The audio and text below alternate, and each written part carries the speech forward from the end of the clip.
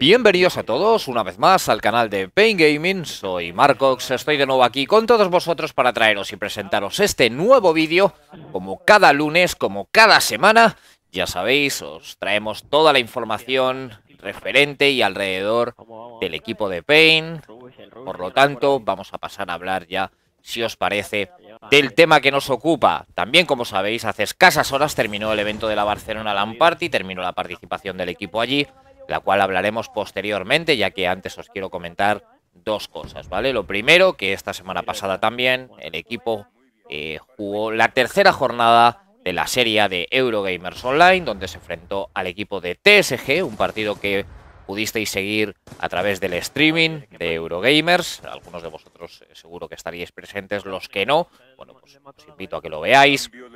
Eh, y una tercera jornada donde el equipo de TSG, la verdad, empezó muy fuerte, ganando el primer mapa al mejor de 5, como suele ser habitual. Eh, que era un punto caliente, ¿vale? Lo ganó el equipo de, como digo, de, TSG.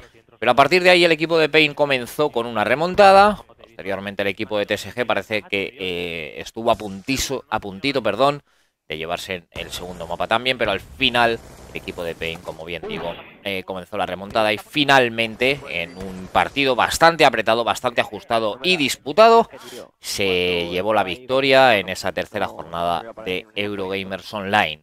Segunda cosa que os quiero comentar. La semana pasada también sabéis que fueron presentadas las camisetas eh, por el señor Keko. También mandarle un abrazo y un saludo ya que siempre se acuerda de Ugar, de Abel y de mí, y bueno, pues es, es cuando menos eh, un detalle y un placer que, los compañeros se acuerden de ti.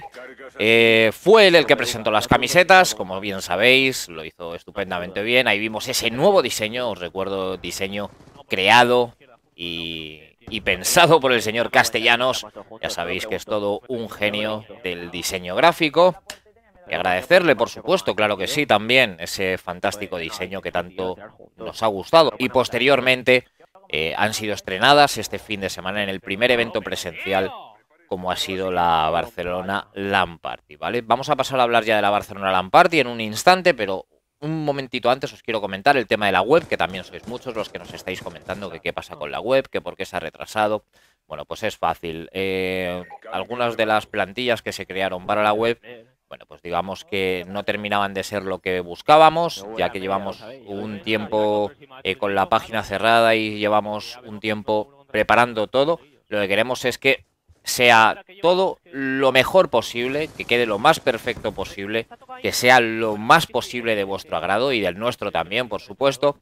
Y como creemos que os merecéis lo mejor y queremos ofreceros lo mejor y intentar eh, tener una imagen seria y profesional del equipo, como siempre ha sido esta casa.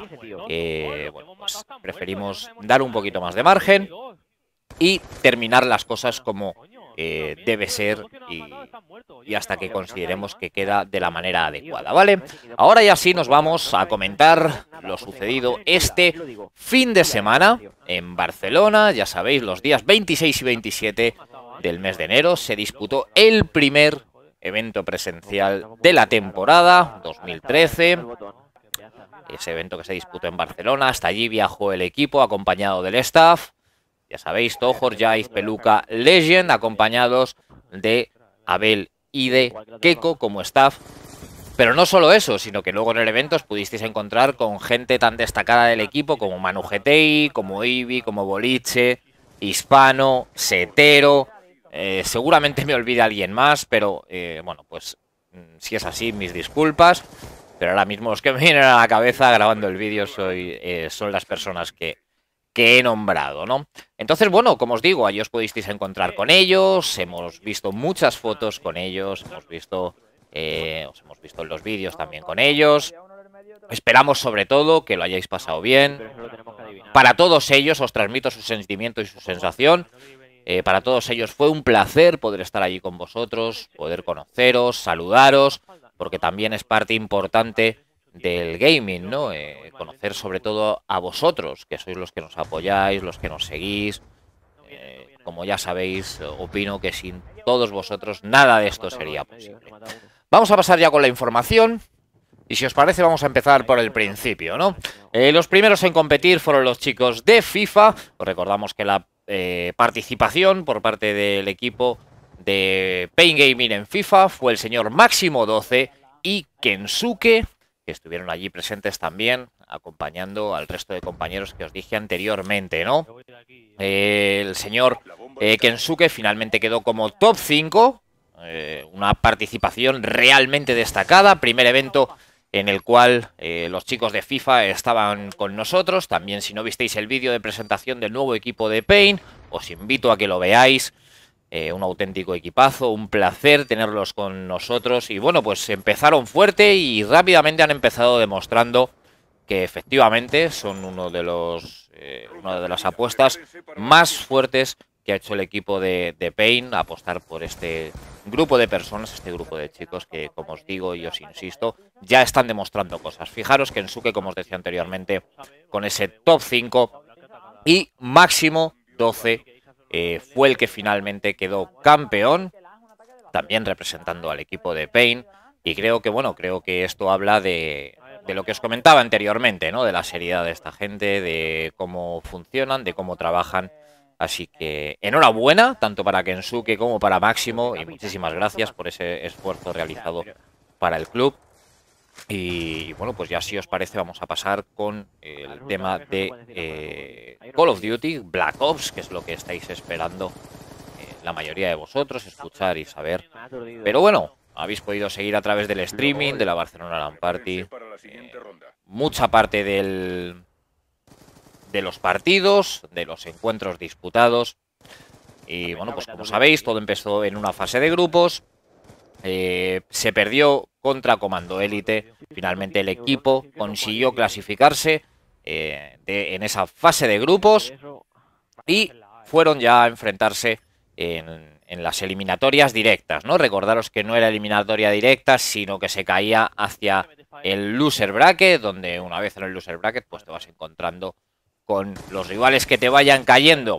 Allí es donde acabó el equipo de Pain Gaming, después de encontrarse con el equipo de Overgaming en las semifinales del Winner Bracket. Allí se encontraron, insisto y repito, con el equipo de Over, un equipo de Over tremendamente fuerte, con muy buenos amigos y viejos conocidos de esta casa, como son el señor Method, y como es el señor Invencible. Ellos para mí son Espíritu Pain 100% y los he considerado y siempre los consideraré de esta casa. Ojo, opinión personal, ¿vale?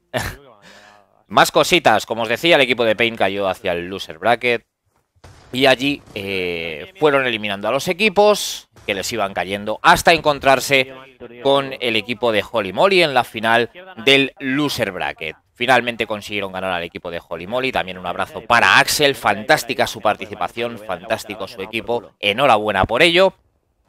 Y eh, posteriormente, después de ganar la final del Loser Bracket, se vuelven a encontrar con Overgaming y nos elimina. Hicimos un top 3.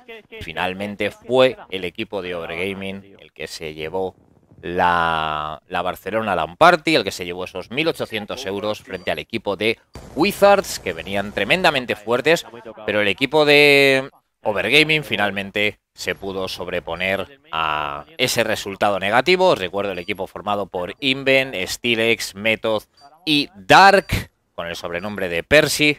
Así que nada, mi enhorabuena para ellos, claro que sí. Y recordaros que también estrenamos esa herramienta indispensable que es el TM1 de Turtle Beach, sin duda, eh, una herramienta fantástica, magnífica y estupenda. Muy recomendable para todos los equipos que juguéis competitivo. Y también podréis encontrar, podéis encontrar un vídeo que hizo Abel en referencia al TM1. Por mi parte, nada más. Un placer, como siempre, haber estado con todos vosotros. Se despide Marcox hasta la semana que viene, con más noticias, más información. Besos, abrazos y hasta la próxima. No, a ver, hemos ganado, pero somos los mejores, ya está.